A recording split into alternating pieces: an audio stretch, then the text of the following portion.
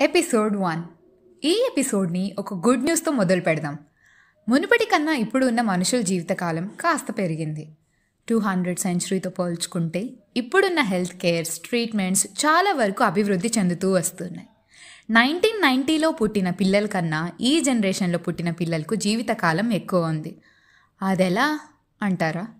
చాలా రకాల జబ్బులకి ఇప్పుడున్న వ్యాక్సిన్స్ వ్యాక్సినేషన్స్ అప్పట్లో లేవు. ఒకవేళ ఉన్నా అప్పుడున్న వాళ్ళకి కాస్త అవగాహన తక్కువనే ఉండేది. సో అలా ఒక వ్యాక్సిన్ వేసుకుంటే అయిపోయే జబ్బులకి ప్రాణాల వరకు తెచ్చుకునేవారు. ఇలా చాలా పుట్టిన పిల్లలు ప్రాణాలు పోయాయి.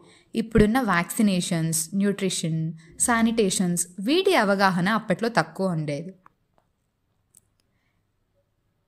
ఇవి పాటించడం వల్ల మనల్ని మనం ఎన్ని ప్రమాదకరమైన జబ్బుల నుంచి కాపాడుకుంటున్నామో ఈ ట్వంటీ ట్వంటీ టూలో తెలియకుండా అయితే ఎవరు ఉండరు. కానీ ఒకప్పుడు ఈ చిన్న చిన్న విషయాలు తెలియకుండానే అనవసరంగా ఎన్నో పసిపిల్లల ప్రాణాలు పోయాయి. ఇలా ప్రతి విధంగా టెక్నాలజీ మెరుగుపడుతూనే వస్తుంది. ఇవే మనం మంచి ఆరోగ్యకరమైన జీవితాన్ని గడపడానికి తోడ్పడతాయి. Not such a good news ఇప్పుడు ఇంకో సైడ్ చెప్పుకోవాలంటే జీవితకాలం పెరిగిందంటే ఓకే కానీ జీవితకాలం పెరగడం అంటే మన జీవితంలో రోజులు పెరగడం మాత్రమేనా?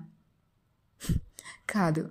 ముసలి వాళ్ళు అవ్వడం అంటే వాళ్ళ జ్ఞానం మాత్రమే కాదు. ఆ ఏజ్లో వాళ్ళకు వచ్చే ఆరోగ్య సమస్యలు కూడా చాలానే ఉంటాయి. సరిగ్గా కనపడకపోవడం వినపడకపోవడం షుగర్ బీపీ ఇలా చాలా ఉంటాయి.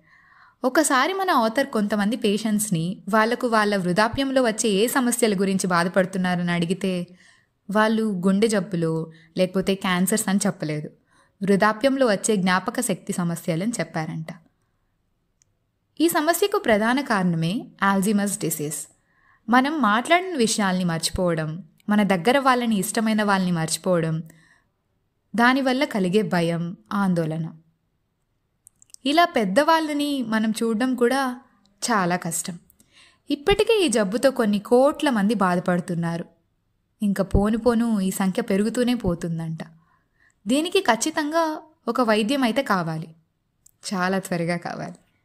ఇప్పుడున్న టెక్నాలజీస్ వల్ల మెడికల్ ఫెసిలిటీస్ వల్ల మన ఏజ్తో పాటు బ్రెయిన్ ఏ విధంగా మారుతూ వస్తుంది దానివల్ల ఏం జరుగుతుందనేది చాలా క్లియర్గా తెలుస్తుంది. ఇది ఎంతలా అంటే మనం ఊహించుకున్న దానికన్నా చాలా కాంప్లెక్స్గా ఉంది. MRI scans positron emission tomography ఇలాంటి ఫెసిలిటీస్ వల్ల హ్యూమన్ బ్రెయిన్ అనేది ఇప్పుడు ఎలా ఉంది అనేది చాలా క్లియర్గా చూపిస్తూ వాటికి ఉన్న ప్రాబ్లమ్స్ని తెలియజేస్తుంది. ఇలా మనం ఆల్జిమస్ డిసీజ్ని కూడా ట్రాక్ చేయొచ్చు. అండ్ దానికి తగిన జాగ్రత్తలు తీసుకోవచ్చు. బ్రెయిన్కు సంబంధించిన జబ్బులు అనగానే ఆల్జిమస్ డిసీజ్ని ఎందుకు డిస్కస్ చేస్తున్నాం? చెప్పండి. ఎందుకంటే ఇప్పుడు మెయిన్గా ఎక్కువగా కనిపించే డిసీజ్ ఇదే అవుతుంది. ఈ ఆల్జిమస్ డిసీజ్ అనేది మన డైట్ వల్ల కూడా మారుతూ ఉంటుందంట. ఈరోజు వరకు మన ప్రపంచంలో ఫార్టీ సిక్స్ మిలియన్ వరకు పీపుల్ ఈ మతి మరుపు సమస్యని ఫేస్ చేస్తున్నారు.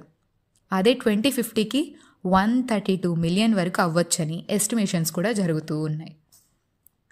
ఇప్పుడున్న టెక్నాలజీ ప్రకారంగా ఈ ఆల్జిమస్ డిసీజ్ని ముందే కనుక్కొని దానికి సంబంధించిన జాగ్రత్తలు తీసుకోవడం జరుగుతుంది.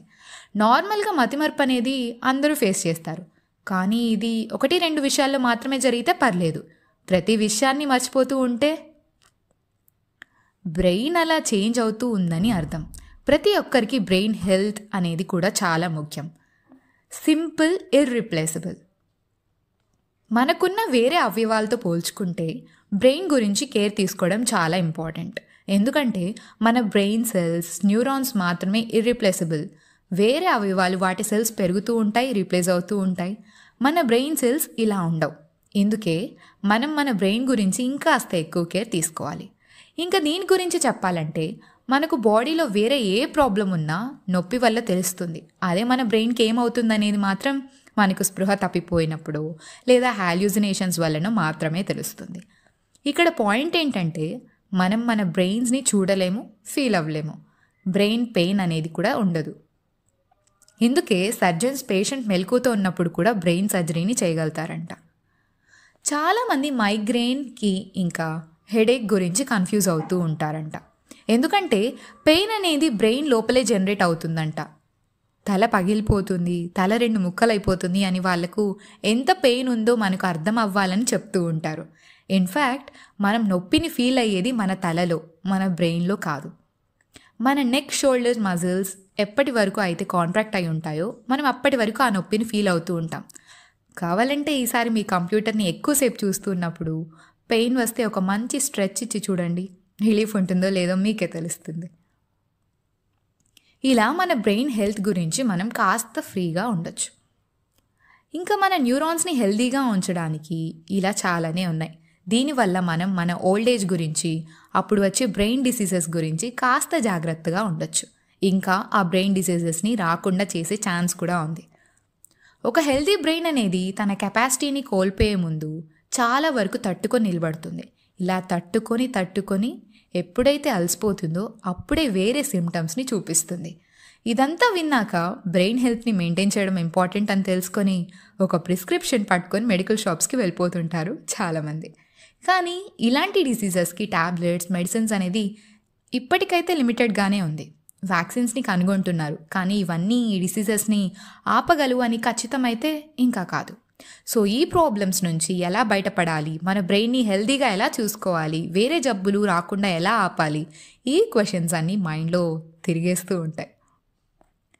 నేచర్ ఆర్ నర్చర్ ఈ కాలంలో ఆల్జిమస్ డిసీజ్ అనే దాని గురించి జరిగిన రీసెర్చ్లో మెయిన్ ఫోకస్ వచ్చి మన మన ఫ్యూచర్ మెంటల్ హెల్త్ కోసం ఏం చేస్తున్నాం అనే దానిపై జరిగింది. చాలా కొంతమందిలో ఆల్జిమస్ డిసీజ్ అనేది వాళ్ళ రేర్ జీన్ మ్యూటేషన్ వల్ల జరిగిందని చెప్తున్నారు. అది చాలా తక్కువ మందిలో జరుగుతుంది. కానీ మిగతా వాళ్ళకి వచ్చిన ఆల్జిమస్ డిసీజ్ గురించి అయితే చాలా ఫ్యాక్టర్స్ ఉన్నాయి అని చెప్తున్నారు. దీంట్లో మెయిన్ మన లైఫ్ స్టైల్ కూడా ఒకటి. ఇప్పుడున్న heart stroke patients diabetic patients వీళ్ళంతా ముందే తమ లైఫ్ స్టైల్ గురించి తమ డైట్ గురించి తమ బాడీ వెయిట్ గురించి కాస్త చూసుకుంటే ఇలాంటివన్నీ తగ్గించుకొని ఉండొచ్చు అని చెప్తున్నారు. నిజానికి మనం ఊహిస్తున్న దానికన్నా మనం ఎక్కువే చేయగలుగుతాం. దీంట్లో మన హెల్త్ మన లైఫ్ స్టైల్ గురించి కాస్త శ్రద్ధగా ఉంటే ఇలాంటివన్నీ చాలా తగ్గుతాయి. చాలా జబ్బుల్ని రాకుండా నివారించవచ్చు. The brain food connection. ఇప్పటి వరకు హార్ట్ డిసీజెస్ గురించి డయాబెటీస్ గురించి ఎలాంటి డైట్ని తీసుకోవాలనే దానిపై చాలామంది చెప్తున్నారు. అదే మన బ్రెయిన్ హెల్త్ గురించి ఎవరైనా చెప్పారా? చెప్తుంటారా? అసలు చాలామంది మన ఫుడ్ వల్ల బ్రెయిన్ హెల్దీగా ఉంటుందనే కాన్సెప్ట్ చెప్పరు. అండ్ యాక్సెప్ట్ చేయరు కూడా. అదేంటి? బ్రెయిన్కి ఏం ఫుడ్ అని అంటారు. కానీ ఇప్పుడిప్పుడు ఆల్జిమస్ డిసీజ్ మనం తినే మంచి ఫుడ్ వల్ల కూడా నివారించవచ్చని చాలామంది సైంటిస్టులు చెప్తున్నారు. మనం అందరం బాగా తింటున్నామని అనుకుంటున్నాం. బాగా అంటే టేస్ట్ మాత్రమే కాదు కదా మంచి పోషక ఆహారం కూడా. మనం ఇక్కడ ఒక్కసారి చెక్ చేసుకోవాల్సిన విషయం ఏంటంటే మనం బాగా తింటున్నామంటే ఓకే కానీ హెల్దీ ఫుడ్ తింటున్నామా? ఇప్పటి కాలంలో యానిమల్స్కి కూడా పెస్టిసైడ్స్ ఇచ్చి పెంచుతున్నారు. అంటే నాన్ వెజ్లో ఏదో ఒక విధమైన కెమికల్స్ ఉన్నాయి.